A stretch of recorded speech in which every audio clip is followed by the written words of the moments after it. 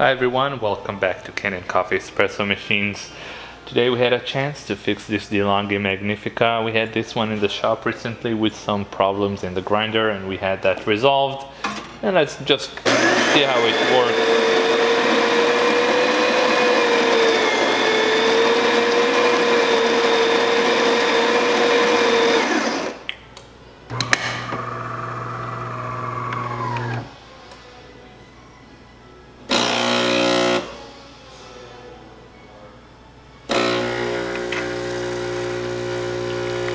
There you go. So the machine is working perfectly fine.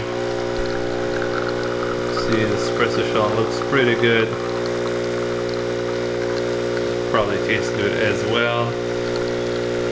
They were working with Wrecking Ball Espresso.